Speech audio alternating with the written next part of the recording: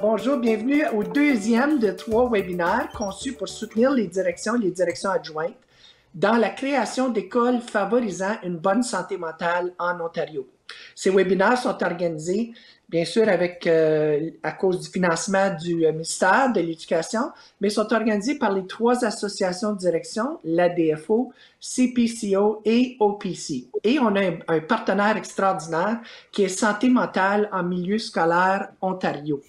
Alors, je vais commencer par laisser mes deux co-animatrices se présenter. Alors, Andréane, vas-y.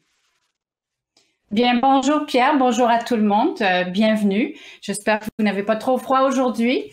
Euh, ça me fait plaisir de, de participer euh, à cette euh, série de webinaires dont aujourd'hui c'est la deuxième.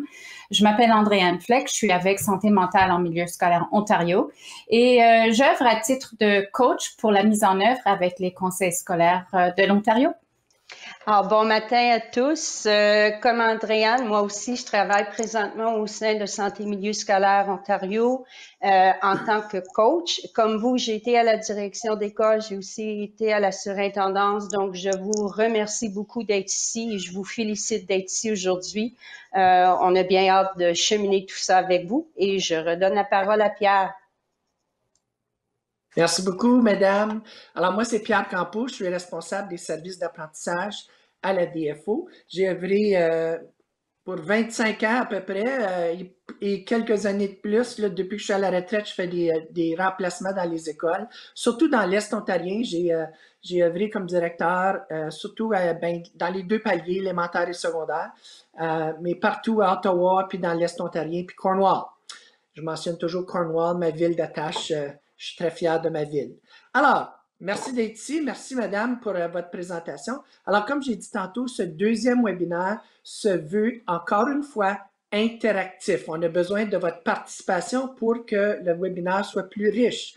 Alors, il va y avoir des moments d'introspection, puis d'autres moments pour parler de vos pratiques. Nous espérons que dans l'heure que nous passerons ensemble, nous pourrons bâtir une communauté de leaders apprenants ouverts et désireux de développer ensemble nos connaissances, nos habiletés et nos pratiques. Alors, les outils et les ressources qui vous seront présentés dans le webinaire aujourd'hui, qu'ils soient matériels ou virtuels, ils sont pertinents pour toutes les écoles. Alors, on commence par faire la reconnaissance du territoire. Alors, je voudrais reconnaître la présence de longue date de peuples autochtones sur le territoire où nous nous trouvons aujourd'hui, où nous travaillons depuis les quatre coins de l'Ontario. Je remercie les gardiens passés, présents et futurs de ce territoire et je suis reconnaissant de pouvoir travailler et apprendre sur ce territoire dans un esprit de partage. Alors, euh, moi, euh, j'aime beaucoup être dehors, je l'ai dit la dernière fois. Alors aujourd'hui, après le webinaire, euh, il fait pas trop froid aujourd'hui, on s'en va patiner euh, dans une forêt. Alors c'est la première fois que je vais faire ça. Dans l'Est ontarien, il y a une place là où tu peux aller, puis tu sirotes, euh, ils ont fait comme une patinoire à même la forêt. Alors je vais profiter de ce moment-là pour remercier le créateur euh, de nous donner des si belles espaces euh, où on peut aller comme ça. Et puis aussi pour euh, remercier le créateur d'avoir une bonne santé qui me permet de faire des activités justement dans la nature. Alors, j'invite euh, Simone et Adrienne de, vous, de, dire, de vous dire qu'est-ce qui, les unit au territoire. Et je vous invite les gens qui participent pendant qu'ils font ça, d'écrire dans le clavardage ce qui vous unit, vous, au territoire où vous vous trouvez. Ah, si je regarde dans le clavardage, le, le, patin est populaire cet hiver et puis la raquette. Donc, on essaie tous de prendre un peu de temps à l'extérieur. Moi, je vous partage une petite anecdote personnelle que le nom de ma rue, j'ai appris récemment, le nom où je demeure, euh, que je prononçais à la anglaise, se prononce Taywin. C'est un nom autochtone qui signifie foyer, maison. Alors, euh, avec tout ce qu'on discute d'équité dernièrement, ça a été vraiment un réveil de ma part à ne pas toujours présumer des choses. Et j'apprécie vraiment, vraiment euh, qu'il y ait une signification de foyer. Ça donne tout autre chose à, à la maison, je trouve. C'est tout un autre lieu euh, de rencontre, qu'on a bien hâte que la famille puisse se rassembler. Mais pour le moment, on est avec vous ce matin et on est très, très content. Alors, je vous invite, c'est moi qui va euh, monitorer le clavardage. Gardez-moi occupé, hein, ajoutez des choses, s'il vous plaît. Très bien, merci beaucoup, Simone. Euh, puis merci de participer déjà. Alors, euh, avant, ben, avant d'entamer euh, le reste de la présentation, j'aimerais vous inviter à faire une petite prise de conscience sur votre santé mentale. Alors, on vous invite à regarder les images euh, des moutons. et il y en a qui vous interpellent plus que d'autres. Et on vous invite aussi de, de déterminer de 1 à 9 quel est votre état d'esprit actuellement en arrivant dans cette, dans cette présentation. Alors, il y en a qui l'ont mis dans le clavardage. On a des neuf, notre petit mouton qui saute. On a des huit. Je suis pas certaine ce qui est fait en numéro huit, mais euh, le huit, le neuf, le six, qui est notre mouton avec des fleurs. J'adore, on a hâte au printemps.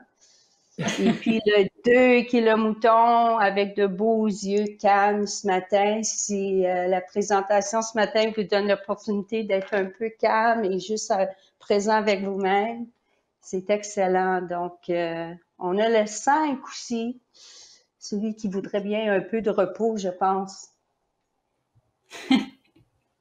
Excellent. Alors, Adrienne, explique-nous pourquoi c'est important de faire une prise de conscience comme ça. Ben, la conscience de soi, vraiment, c'est une habileté socio-émotionnelle cruciale. Alors, au départ, les élèves doivent être capables de déterminer ce qu'ils ressentent, bien sûr. Euh, parce que faire une, prise de conscience quotidienne comme on l'a fait maintenant et peut-être même à plusieurs reprises pendant la journée, parce qu'on sait que notre, nos émotions peuvent monter et descendre au courant d'une même journée.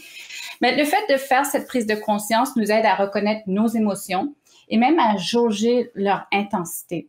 Après tout, il est plutôt difficile de gérer nos émotions si on en ignore l'existence. C'est pour ça que dès un petit, petit âge, on essaye d'enseigner aux élèves à reconnaître leurs émotions et même à les nommer. Alors, la prise, la prise de conscience normalise aussi les émotions. Lorsqu'on le fait avec les élèves, on les aide à comprendre que toutes les émotions sont valides et que la façon dont on les gère fait toute la différence.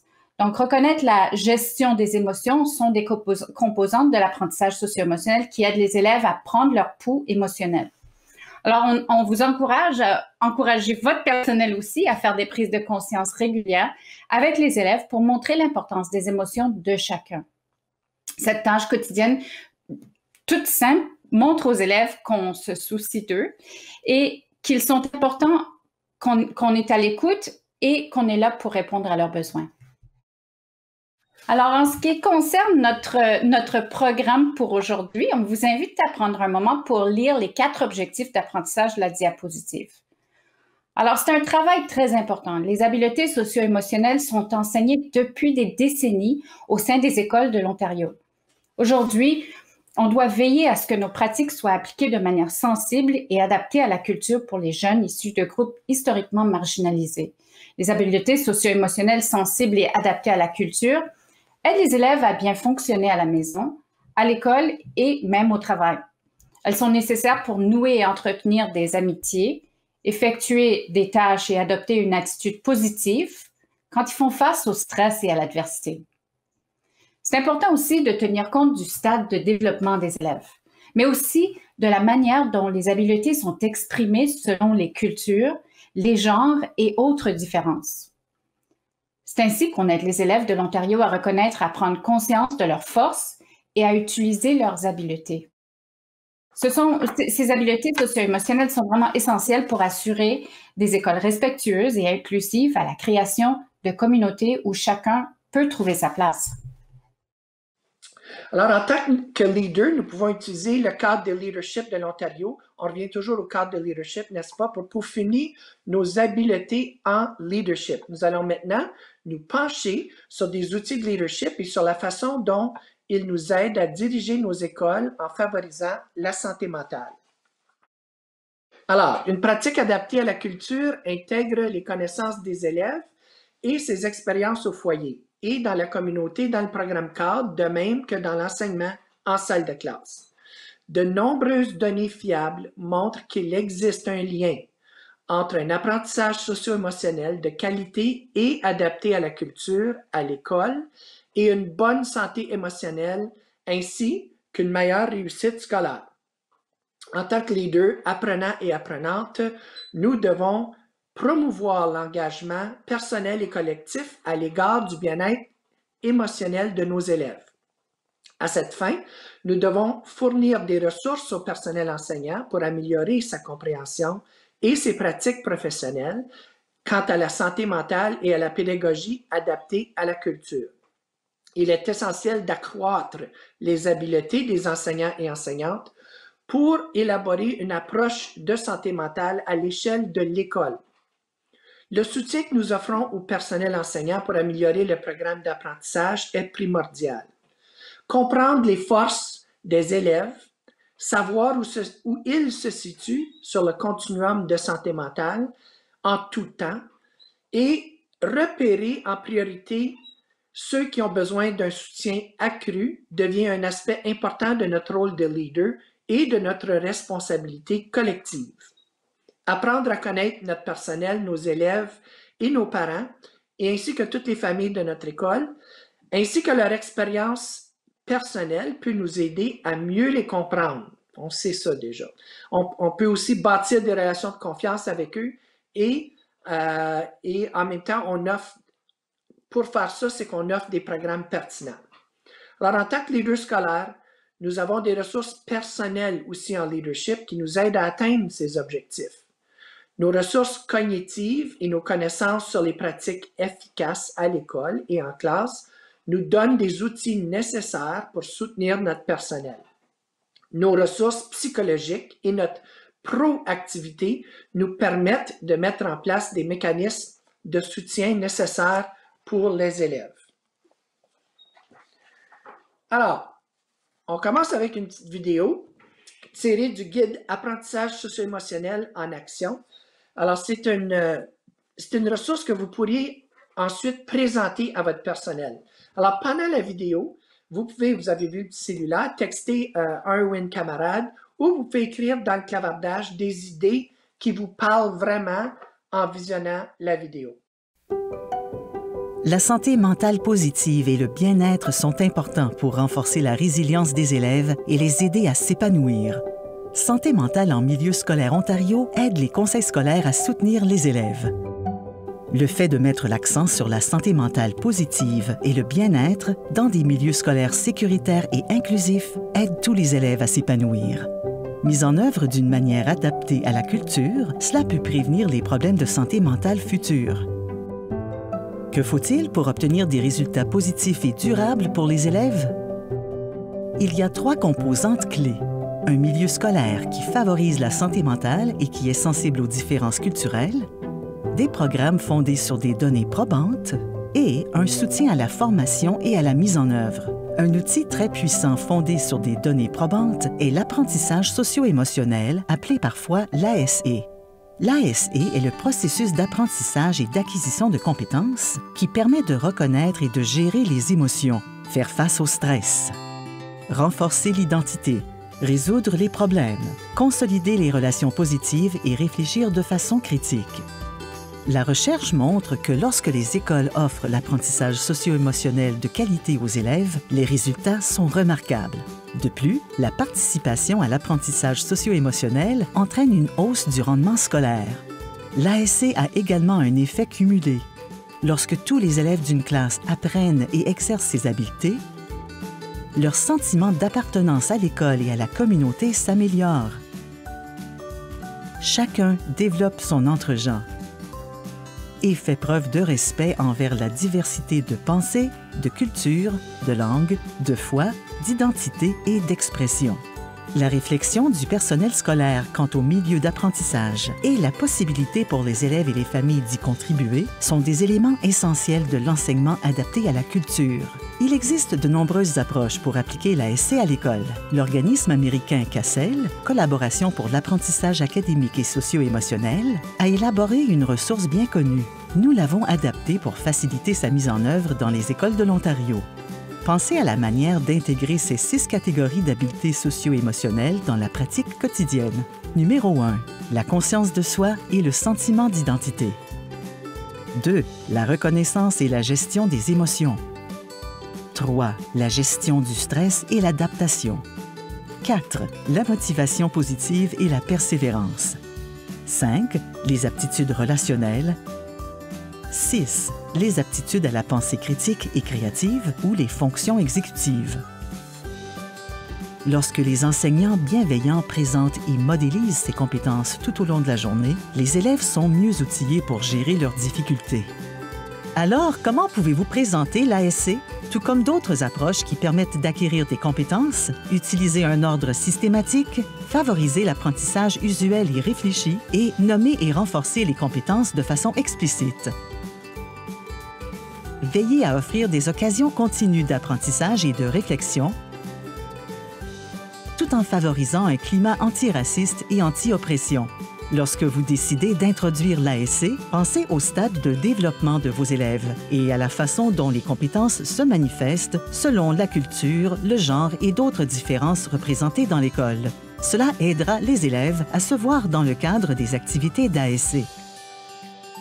Les familles peuvent choisir de renforcer ces compétences à la maison. Les élèves peuvent également avoir des idées sur l'intégration des compétences d'apprentissage socio-émotionnel dans la culture de l'école afin de favoriser l'inclusion. Une approche à l'échelle de l'école garantit que la direction de l'école est pleinement impliquée dans l'adoption et l'application de l'ASC.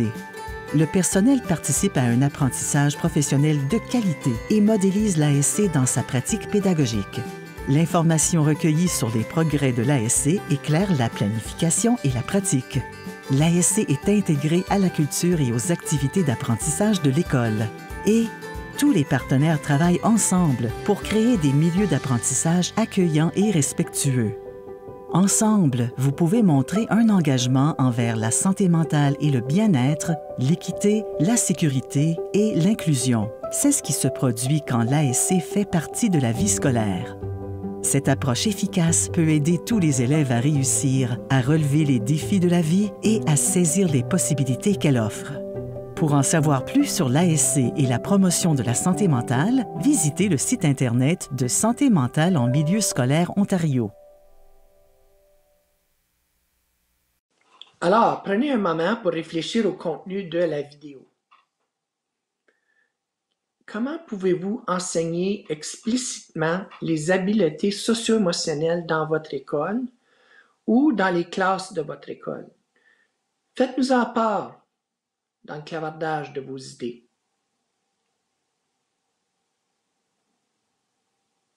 Alors, comme Simone dit, il existe un guide de conversation et de réflexion servant à orienter vos discussions avec votre personnel. Vous trouverez le lien vers le guide dans la liste des ressources à la fin de la présentation. Pierre, désolé, je me permets d'ajuster. On a eu des commentaires. Les gens discutent d'enseignement très explicite, euh, d'en jaser lors d'une euh, réunion du personnel aussi et euh, d'avoir des leçons, l'enseignement explicite sans être populaire euh, soulevé ce matin. Merci. Merci beaucoup, Simone, pour ce partage. Euh, oui, euh, c'est essentiel de, de, de, faire ce travail de manière très explicite avec son personnel. Donc, euh, j'apprécie que ça, ça, a été ajouté comme commentaire, parce que l'apprentissage socio-émotionnel s'inscrit au développement global humain. Donc, il s'applique aux enfants autant qu'aux adultes. Alors, c'est un processus qui favorise l'apprentissage des aptitudes à la vie quotidienne, y compris la gestion des émotions, le développement des relations saines et la prise de décisions judicieuses. L'apprentissage socio-émotionnel sensible et adapté à la culture aide les élèves à acquérir les habiletés intrapersonnelles et interpersonnelles dont ils ont besoin pour être épanouis au courant de la vie. Tout au long de leur apprentissage socio-émotionnel systématique, depuis leurs premières années jusqu'à la fin de l'école secondaire, les élèves peuvent acquérir des connaissances et des habiletés dans les six regroupements figurant sur le diagramme que vous voyez à l'écran. Euh, vous avez vu le survol de ces six regroupements aussi euh, dans la capsule vidéo.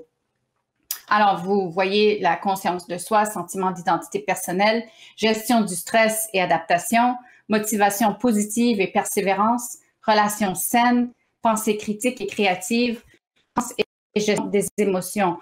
On voit que ce sont regroupements qui ne sont pas uniques, mais travaillent de manière euh, interliée les unes avec les autres.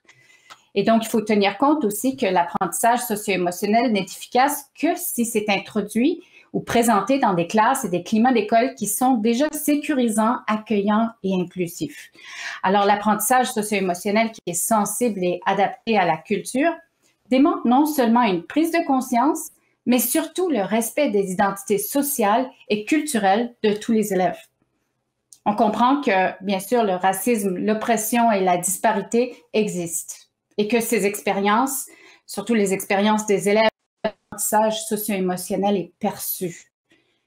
Chacun des six regroupements comporte des sous-groupes et des activités associées par niveau scolaire pouvant être entreprises en classe.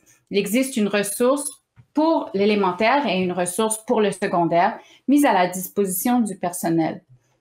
À la fin du webinaire, vous trouverez une liste contenant tous les liens vers les ressources dont on, discutera aujourd'hui et dont on vous partagera.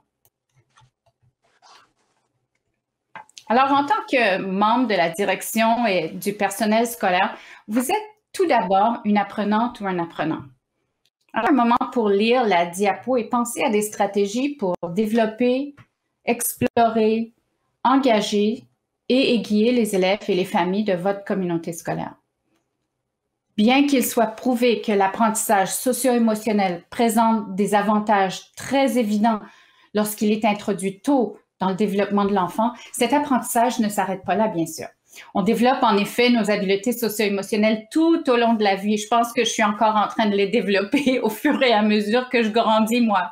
Et donc, on est à la fois des apprenantes et des apprenants et aussi des guides parce que notre exemple aussi va affecter la façon dont les, élèves ou nos enfants euh, nous voient les mettre, les mettre en œuvre et, et les améliorer, bien sûr. Alors, l'apprentissage socio-émotionnel peut nous aider à démanteler des structures oppressives et à créer un système scolaire et une société plus équitable. On n'oublie jamais que vous devez faire preuve d'indulgence envers vous-même et votre personnel à mesure que vous acquérez les connaissances et les habiletés. Faites aussi preuve d'humilité et de curiosité en vous rappelant d'examiner vos préjugés en cours de route. Cherchez des occasions d'apprendre et de tirer parti des points forts des élèves et des familles, des pairs et d'autres professionnels de votre système, notamment l'équipe chargée de l'équité et les membres de votre équipe de leadership en santé mentale. Alors voici quelques facteurs à garder à l'esprit pour mettre en œuvre un apprentissage socio-émotionnel efficace, solidaire, antiraciste et anti-oppressif en tant que leader scolaire. Alors, commencez par comprendre qu'il existe des nuances au sein, des groupes culturels et entre ceux-ci. Alors, réfléchissez bien, réfléchissez bien aux élèves qui sont dans vos écoles. La même affirmation ou une idée ne s'applique pas à tout le monde. Alors, on veut créer des possibilités d'expression culturelle et d'expression des modes de connaissance. Si on ne sait pas, faut demander. Alors, assurez-vous aussi que vos exemples soient inclusifs. Par exemple, évitez d'adopter une position hétéronormative. Par exemple, on fait référence aux familles comme constituées d'une mère et d'un père. Alors là, on sait qu'on est déjà en train d'exclure certains élèves. Il faut réfléchir à la façon dont on présente ces éléments. Veillez aussi à ne pas rejeter la faute sur l'élève ou à ne pas leur imposer la responsabilité de naviguer dans des espaces oppressifs, racistes et discriminatoires. Donc, cette reconnaissance est extrêmement importante. Par exemple, des recherches montrent que des pensées positives peuvent influencer nos émotions et nos comportements de manière utile et peuvent aider à recadrer les événements négatifs. Bien qu'il soit utile de s'informer sur la pensée positive et le recadrage, il ne s'agit pas de solutions aux pratiques oppressives qui devraient être présentées aux élèves de cette manière. Alors, veillez à fournir aux élèves le soutien et les outils nécessaires pour lutter contre l'oppression et les accompagner pour faire ceci de manière constructive. Adoptez aussi une approche basée sur les points forts et le co-apprentissage. L'apprentissage socio-émotionnel ne consiste pas à dire aux élèves comment se débrouiller et se comporter. Il s'agit d'un processus de co-apprentissage où les idées et les points forts des élèves sont mis à l'honneur et où de nouvelles idées sont explorées ensemble. J'ai vu ça avec, euh, avec mes enfants qui font des cours en ligne ou qui ont dû faire des cours en ligne où ce genre de co-apprentissage euh, se passe de manière quotidienne. Alors, on va prendre une minute pour réfléchir à ces quatre facteurs et je vous invite à, ajouter dans la boîte de clavardage euh, vos commentaires ou vos réflexions suite à ce que vous voyez sur la diapo. Puis j'invite Simone aussi à nous dire ce qu'elle voit. On vous invite, par exemple, à ajouter des commentaires sur lesquels vous voyez qui seraient les plus évidents dans votre école, peut-être, hein, comme matière de réflexion. Alors, comme on en a parlé dans le webinaire numéro 1, nous pouvons tous apprendre les uns des autres. Les membres du personnel qui ont une pratique sensible et adaptée à la culture savent que les communautés noires et autochtones et les autres groupes marginalisés sont victimes d'un racisme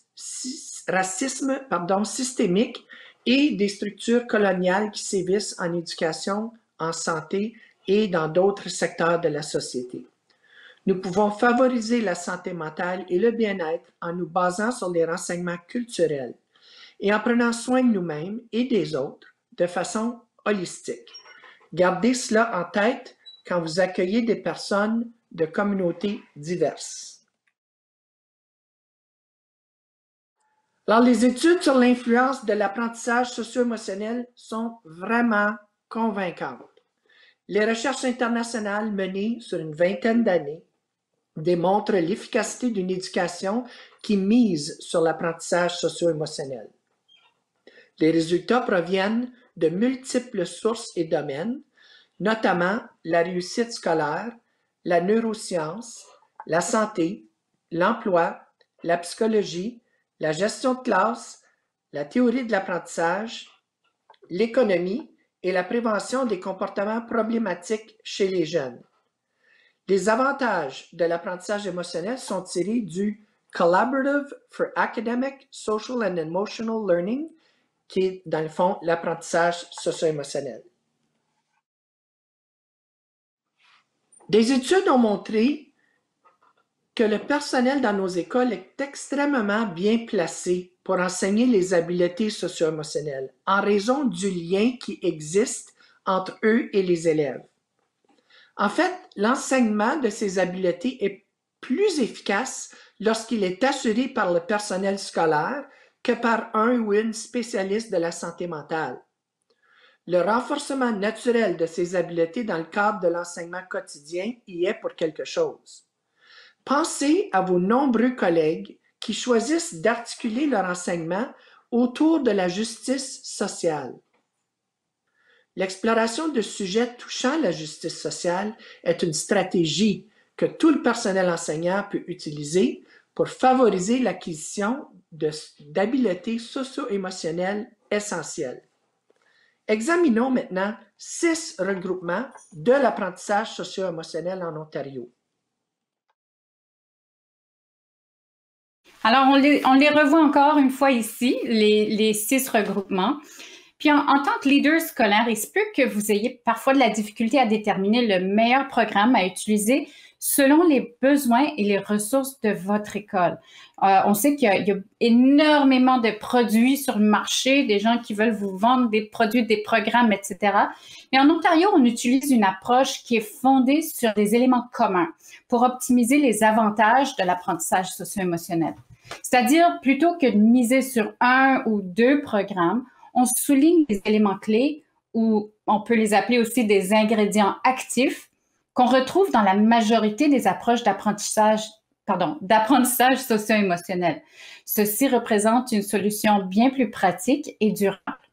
Puis, elle peut aussi être adaptée selon euh, les, les, élèves de vos écoles. Parce qu'encore une fois, on veut s'assurer d'avoir une approche qui est sensible et adaptée à la culture et au développement euh, des élèves. Alors, vous voyez euh, encore les six regroupements qui sont représentés sur la diapositive. Euh, d'ici la fin de la session, vous allez les connaître par cœur, j'en suis certaine.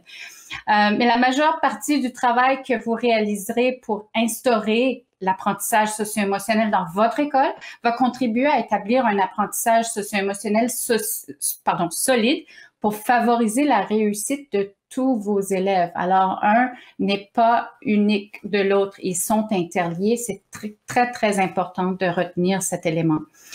Le travail comprend ce qui suit. Alors, on peut allouer du temps pour offrir un enseignement des habiletés socio-émotionnelles de qualité et fondé sur des données probantes. On offre un enseignement de qualité intégrant les pratiques et les principes de l'apprentissage socio-émotionnel. On instaure un climat d'apprentissage bienveillant dans l'école et les salles de classe. Ce sont des choses que vous faites déjà très, très bien. Et on donne des occasions de créer des liens positifs entre les élèves, leurs pères et avec des adultes. Alors, pendant que vous examinez encore les six regroupements, euh, je vous invite à noter vos réponses aux deux questions de la diapositive. Vous pouvez le faire de façon euh, personnelle, une réflexion personnelle. Mais, mais quelle catégorie ou quel regroupement pourriez-vous facilement instaurer de façon intentionnelle, systémique avec votre personnel? Alors, en regardant les, les six regroupements. Et euh, quel regroupement est-ce que vous et votre personnel auraient besoin d'approfondir ou d'améliorer en termes de connaissances ou peut-être d'accès aux ressources pour aider les leaders scolaires et les élèves ensemble? Alors, on vous donne euh, peut-être quelques secondes pour y réfléchir et de voir où, est-ce que vous êtes, euh, vous avez des points forts et où est-ce que vous aimeriez avoir plus de points forts, si je peux le dire. Alors, vous êtes libre de l'ajouter à la boîte de clavardage ou simplement de, le garder pour vos réflexions euh, personnelles. Euh, en tant que leader scolaire, je vous invite aussi à consulter les ressources. Alors, j'ai parlé du fait que peut-être que vous auriez besoin d'améliorer un peu votre, votre niveau d'apprentissage en termes d'équipe école. Euh, puis on vous invite à, reconnaître qu'il y a pas mal de ressources qui ont été développées par Santé mentale en milieu scolaire Ontario, euh, en partenariat avec euh, la DFO, aussi avec les, associations des enseignants. Et, etc., etc. Et c'est vraiment des ressources qui sont là pour vous aider à exécuter vos alors, SMSO fournit de nombreuses ressources qui peuvent faciliter le travail de tout le personnel, scolaire, que ce soit euh, euh, à titre d'enseignant ou direction. Euh, et j'aimerais vous présenter cinq des ressources qui peuvent appuyer l'apprentissage socio-émotionnel, surtout à l'échelle de l'école. Alors, le premier, c'est le guide d'apprentissage socio-émotionnel en action. Et celui-ci est assez récent. et il aide les directions, les directions adjointes et les équipes de leadership à s'engager dans des discussions à l'échelle de l'école sur l'apprentissage socio-émotionnel.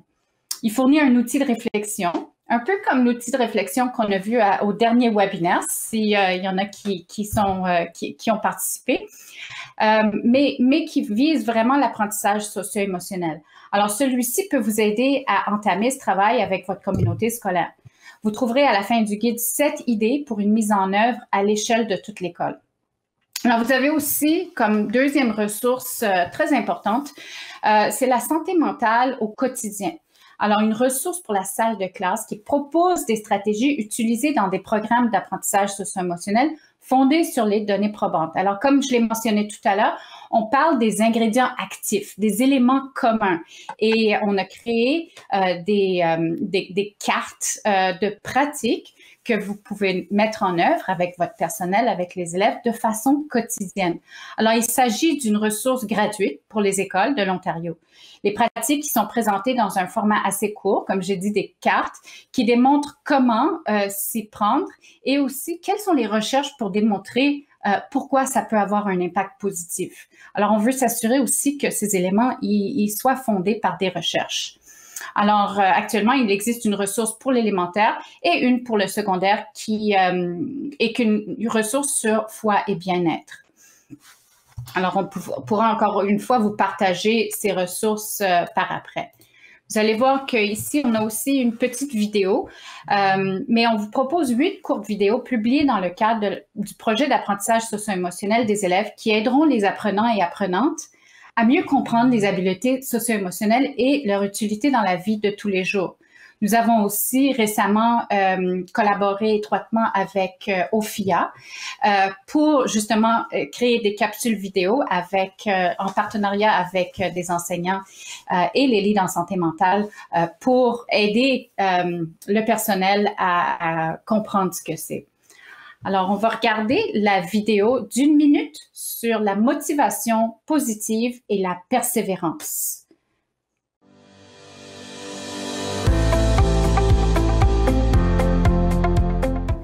On a beaucoup à gagner à maintenir une attitude positive. Cela peut vouloir dire de considérer nos erreurs comme des occasions d'apprendre, de ne pas renoncer et de demeurer optimiste. Cela ne veut pas dire que vous êtes toujours joyeux, mais plutôt que vous avez appris des stratégies qui vous aident à penser différemment lors de moments plus difficiles et de les voir comme des éléments que vous pouvez surmonter. On fait tous des erreurs et on vit tous des circonstances moins heureuses, mais il ne faut pas les laisser prendre le dessus et nous empêcher de réaliser notre plein potentiel. Les obstacles et les erreurs nous mettent à l'épreuve, mais quand on a une attitude positive, ça nous aide à persévérer. C'est d'une importance cruciale dans notre développement intellectuel à mesure que nous prenons de la maturité.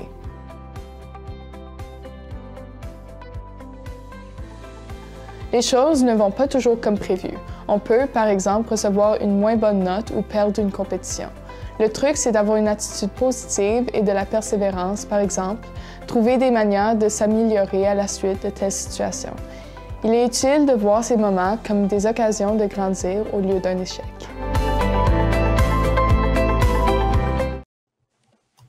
Merci. Alors, vous invite à aller voir les autres capsules vidéo, euh, justement, qui, parlent de tous ces regroupements euh, d'apprentissage socio-émotionnel. Euh, donc, prochainement, on vous montre un aperçu des affiches sur l'apprentissage socio-émotionnel. Alors, il y en a qui les ont peut-être déjà vues. Alors, celles-ci présentent des pratiques à utiliser en classe au quotidien pour favoriser la santé mentale et surtout l'apprentissage socio-émotionnel.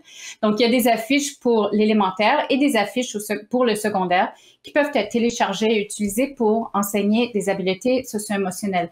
Il y en a des, il y a des écoles qui les ont téléchargées, les ont imprimées et les ont affichées à travers leurs écoles. Euh, donc, on vous invite à, voir euh, ce qui vous convient le mieux.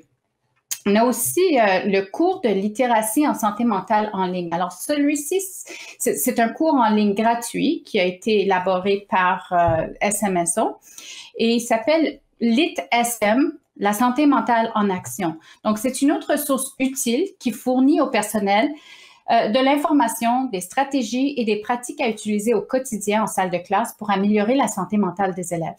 Alors, le cours se compose de six modules d'apprentissage en ligne à faire à son propre rythme.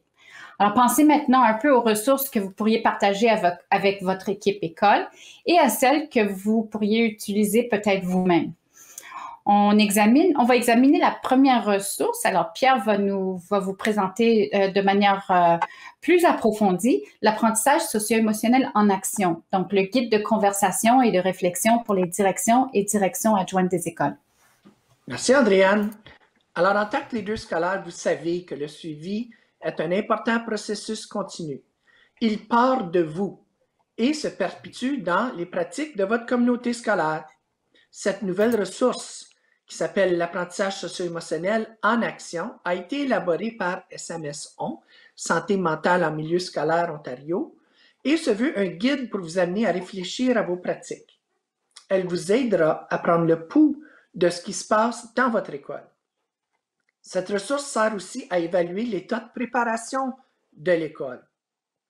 Alors réfléchissez à la façon dont vous pourriez utiliser ces renseignements recueillis pour orienter votre planification scolaire. Alors pour vous familiariser un peu avec la ressource, nous allons voir ensemble les énoncés et je vais vous demander de prendre le pouls de votre école. La première section s'applique particulièrement à nous des leaders scolaires. Commençons. Alors, regardez les énoncés, puis répondez individuellement, pas dans le clavardage, là, vous, faites ça, là, comme je vous ai dit tantôt, je vous ai demandé d'avoir un papier.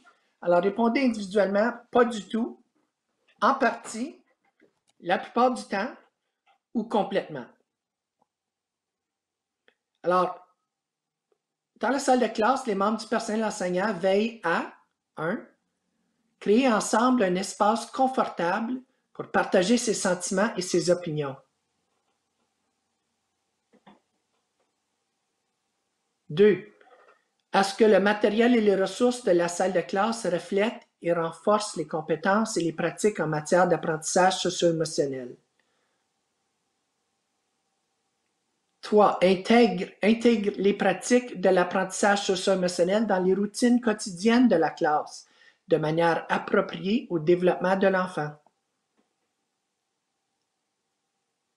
4. Est-ce que vos membres du personnel enseignant veillent à intégrer les pratiques de l'apprentissage socio-émotionnel dans les routines quotidiennes de la classe de manière appropriée à la culture?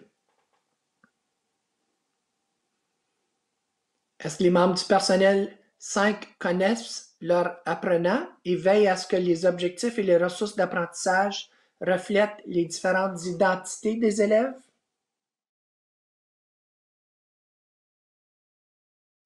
6. Est-ce qu'ils veillent à faire entendre la voix des élèves dans l'apprentissage, dans la pratique de l'apprentissage socio-émotionnel? Par exemple, les élèves auraient la possibilité de parler des pratiques qu'ils jugent efficaces. 7. Est-ce que les enseignants offrent régulièrement des possibilités de collaboration entre les pairs? 8. Est-ce qu'ils offrent aux élèves des occasions de réflexion et d'introspection relatives à leur identité et à celle des autres? Je sais que je vais vite là, mais est-ce qu'il encore des modèles, des modélisent des stratégies d'adaptation saines en aidant les élèves à développer leur résilience et à gérer leurs sentiments?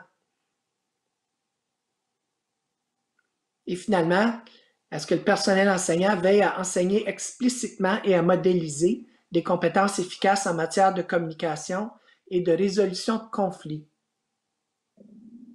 Alors, j'espère que ces questions ont suscité votre réflexion sur les prochaines étapes de votre planification en matière d'apprentissage socio-émotionnel à l'échelle de votre école. Ce guide fournit un outil de réflexion qui vous aidera à amorcer le travail avec votre communauté scolaire. Regardons maintenant où se situe l'apprentissage socio-émotionnel dans le curriculum actuel de l'Ontario. Alors, comme vous pouvez voir, ben, vous le savez, l'apprentissage socio-émotionnel fait maintenant désormais partie d'un volet distinct dans le curriculum de l'Ontario. Vous voyez à droite les nouveaux documents du programme cadre de l'élémentaire en éducation physique et santé et en mathématiques, nouveau de cette année mathématiques, ainsi que le document Faire croître le succès qui, on le sait, est pour les élèves de la maternelle à la douzième. Chacun de ces documents comporte une section définissant l'apprentissage socio-émotionnel et euh, qui établit des liens avec celui-ci. Le tableau que vous voyez montre des liens précis entre les habiletés socio-émotionnelles et les aptitudes d'apprentissage des élèves. En tant que leader scolaire, vous devez savoir que ces nouveaux documents indiquent clairement que la mise en application des habiletés socio-émotionnelles par les élèves doit être évaluée en même temps que la satisfaction des attentes pour chaque domaine d'étude du cours suivi. Le perfectionnement professionnel continu sur les pratiques d'évaluation sans préjugés aidera le personnel éducatif à veiller à évaluer les habiletés socio-émotionnelles. Pour savoir à quoi ressemble le volet d'apprentissage socio-émotionnel dans le curriculum de l'Ontario, examinons le programme cadre de mathématiques de l'élémentaire. Le programme comprend désormais le domaine d'études A, qui porte strictement sur les habiletés socio-émotionnelles. Il est clairement indiqué comment intégrer ce volet à l'enseignement des mathématiques. La façon de l'enseigner est importante. Prenons par exemple l'enseignement de la résolution de problèmes, qui peut s'appuyer sur la création de liens et la communication efficace. Lorsque les élèves règlent des problèmes, elles ou ils doivent être capables d'exprimer clairement leur raisonnement aux autres. Le raisonnement et la preuve demandent de la motivation positive et de la persévérance. Trouver des réponses prend du temps et faire des erreurs incite à la persévérance. Une approche axée sur la croissance est nécessaire. La réflexion demande une pensée critique et créative. Elle aide aussi les élèves à développer leur conscience de soi. En 2005, ceux qui étaient là, Les habiletés socio-émotionnelles n'étaient pas enseignées, alors que depuis 2020, elles sont évaluées à chaque niveau. Alors, textez, euh, c'est le temps de texter un ou une camarade ou d'écrire dans le clavardage vos idées sur la manière dont vous, en tant que leader scolaire, pourriez promouvoir l'intégration d'aptitudes d'apprentissage dans les bulletins scolaires. Monique, je t'invite à, nous partager s'il y a des choses dans la boîte de clavardage. Euh, plutôt, il y a quelqu'un, justement, une des questions qu'on avait posées plus tôt, qui avait déjà fait un lien euh, à cette question ici et qui parlait justement de toutes les habiletés à développer socio-émotionnelles, comment elles sont directement liées au bulletin scolaire avec tout ce qui est l'apprentissage des HH. Donc, cette réflexion-là était déjà euh, à commencer il y a quelque temps. Euh, et puis, je vois qu'on ajoute aussi, comme on le ferait pour les, les HH, pardon, euh, on enseigne de façon très explicite euh, de, ces choses-là. Donc, ça, c'est une thématique qui revient beaucoup, c'est d'être très explicite dans ce travail. Super, merci, merci du partage. En effet, alors ce sont des, concepts, bien sûr, que vous connaissez déjà, que vous mettez déjà en pratique. Alors, euh, nous, vous présentons aussi la façon euh, d'intégrer l'apprentissage socio-émotionnel qui est importante, qui devrait se fonder peut-être sur la, méthode sûre que vous voyez ici à l'écran. Alors, c'est aussi une, méthode qui, privilégie l'explicité, l'approche systémique. Euh, et qui s'appuie sur l'enseignement et bien sûr les autres matières. Alors, les habiletés socio-émotionnelles n'y font pas exception. Les recherches nous indiquent que l'apprentissage est optimal dans le cadre d'un enseignement prodigué étape par étape de façon structurée au fil du temps et à travers les années. Alors, les techniques d'apprentissage interactif jumelées à des objectifs et à des critères de réussite clairement définis favorisent la réussite des élèves. Idéalement, les écoles doivent utiliser l'approche sûre pour favoriser le développement socio-émotionnel de leurs élèves. Vous pouvez utiliser le modelage et l'accompagnement pour apprendre aux élèves à reconnaître comment ils se sentent ou comment une autre personne peut se sentir. C'est un enseignement qui peut être intégré à la routine et aux moyens de prise de conscience de tous les jours. Alors, on, on encourage l'emploi d'une compétence en résolution de problèmes et recourir au dialogue pour guider les élèves, les élèves à chaque étape peut les aider à utiliser une compétence dans une nouvelle situation. Les élèves peuvent approfondir leur compréhension d'un événement actuel ou passé en l'analysant au moyen d'un ensemble de questions tirées d'un modèle de résolution de problèmes. Alors, à quoi ressemble une approche d'apprentissage socio-émotionnel à l'échelle de votre école? ou à l'échelle d'une école en général? La première étape consiste à créer l'équipe qui sera responsable du bien-être ou de l'apprentissage socio-émotionnel de votre école.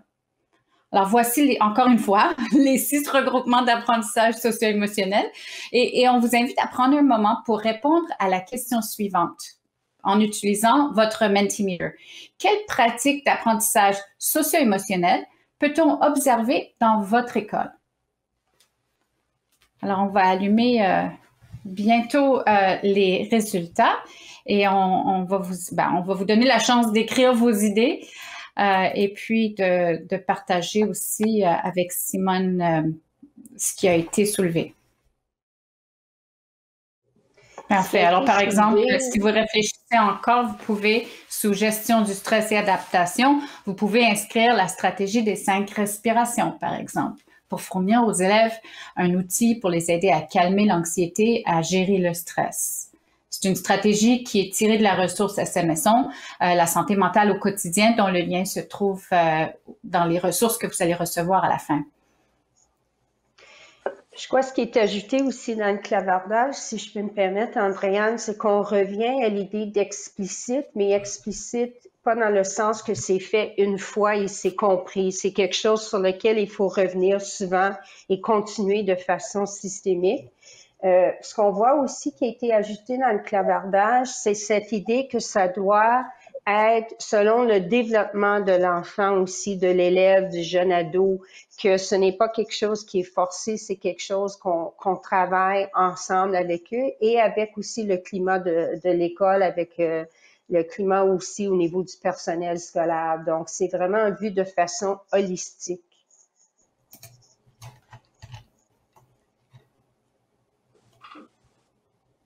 Il y a la cohérence cardiaque aussi, je vois là au Mentimeter. Intéressant, tout l'aspect physique euh, de rattacher à la santé mentale, très important aussi. J'encourage les gens d'écrire dans le Mentimeter puis continuer parce que euh, ce qu'on va faire, c'est qu'on va prendre cette diapo-là à la fin et on va vous l'envoyer euh, pour. et c'est un exercice aussi que vous pourriez faire avec votre personnel, mais même si on continue de parler, là, continuez d'écrire vos idées. Désolée, Adrienne. Oui, alors pendant, pendant que vous continuez, euh, je vais revenir un peu sur ce que nous avons déjà vu aujourd'hui euh, pour euh, doucement mais sûrement clôturer. Donc, les éléments clés qui permettent au personnel éducateur d'avoir une pratique sensible et culturellement adaptée. on a vu l'approche fondée sur des éléments communs que nous avons adoptés en Ontario pour optimiser les avantages de l'apprentissage socio-émotionnel. N'oubliez pas les ingrédients clés. Euh, les ressources de SMSON sur l'apprentissage socio-émotionnel à l'échelle de toute l'école, les liens entre le curriculum et l'apprentissage socio-émotionnel, en particulier ceux des nouveaux programmes cadres ou ceux qui ont été révisés de l'élémentaire en mathématiques et en éducation physique et santé. Et ensuite, comment enseigner les habiletés socio-émotionnelles au moyen de l'approche sûre. Donc, c'est une approche qui est séquentielle, utile et réfléchi et explicite. Alors, les ressources de SMSON fournissent aux leaders scolaires des outils nécessaires pour mieux comprendre les pratiques favorisant la santé mentale dans les écoles et peuvent les aider à accroître les habiletés du personnel et l'utilisation d'une compréhension et d'un langage commun entourant des pratiques d'apprentissage socio-émotionnel culturellement adaptées et bien sûr sensibles. Je vous invite à consulter ces ressources, bien sûr après le webinaire, et euh, vous trouverez des liens sur la page de ressources qu'on vous partagera. Les directions et directions adjointes sont vraiment bien placées pour servir d'exemple, comme vous le faites déjà tous les jours, euh, et en utilisant de manière uniforme dans les écoles et les salles de classe des pratiques d'apprentissage socio-émotionnel qui tiennent compte de l'identité, de la culture et des forces des élèves. La mise en pratique de vos propres habiletés socio-émotionnelles, c'est-à-dire la conscience de soi et l'habileté culturelle, peut renforcer vos liens avec les élèves, le personnel, les parents et les familles et favorise l'acquisition d'une image positive de soi et ce sentiment d'appartenance bien serré à l'école, à la classe et à la communauté scolaire. Alors, quelles sont les prochaines étapes? Il est important de prendre le temps de faire le suivi des initiatives qui sont entreprises à votre école. Il faut mener un suivi de qualité et ça, ça fait partie des responsabilités d'un ou d'une leader. Il s'agit de se responsabiliser face aux objectifs établis. Pour faire le suivi, il faut recommencer par regarder les résultats, autrement dit, analyser les résultats de nos actions. Il faut ensuite examiner les implications, c'est-à-dire interpréter les résultats et saisir leur portée. Il s'agit de regarder précisément, précisément ce que signifient les résultats. Ensuite, la suite des choses consiste à déterminer des actions qui s'imposent et des prochaines étapes. Concrètement, c'est le dialogue qui s'ensuit pour décider quelles seront vos prochaines étapes. Je vous demanderai maintenant de répondre à la question de suivi pour, à faire pour votre école. Pensez aux pratiques d'apprentissage socio-émotionnel utilisées dans votre école et déterminez les regroupements qui nécessitent peut-être un suivi plus serré. Prenez maintenant une petite minute pour écrire vos idées dans, le clavardage. Pendant que vous faites ça, je vous remercie d'avoir participé au webinaire. Vous pouvez utiliser l'information et les ressources qui vous ont été transmises aujourd'hui pour favoriser une bonne santé mentale à votre école. J'espère que vous continuerez d'utiliser la section pour les directions d'école dans l'outil de réflexion pour amorcer votre planification des prochaines étapes. J'aimerais aussi vous rappeler qu'il y a une page de ressources qui va vous être envoyée, puis c'est dans la présentation, c'est la dernière diapo.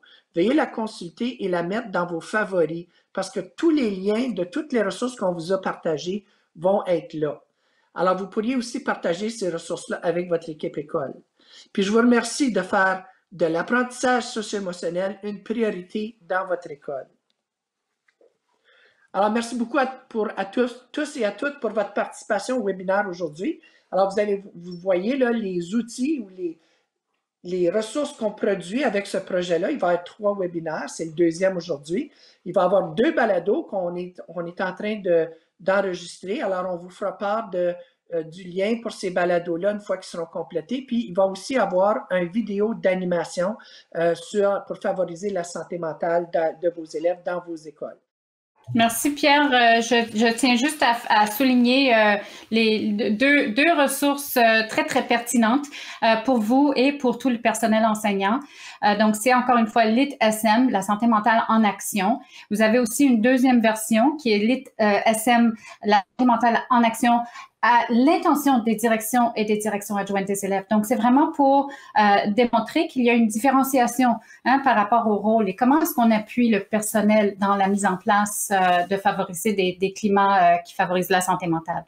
Alors, je vous invite à, à, le consulter. Ces cours sont en ligne, sont gratuits sur la communauté d'apprentissage de l'Ontario et sont aussi disponibles à travers votre EAV, euh, l'EAV de votre conseil scolaire. Alors, si vous avez des questions par rapport à ça, n'hésitez pas à nous, euh, envoyer euh, un courriel ou à consulter votre leader en santé mentale pour vous aider à, à les accéder. Alors, voici les coordonnées des associations. je vous encourage de, de consulter ces sites web-là et surtout de suivre l'ADFO sur Twitter pour avoir les dernières nouvelles. Merci tout le monde.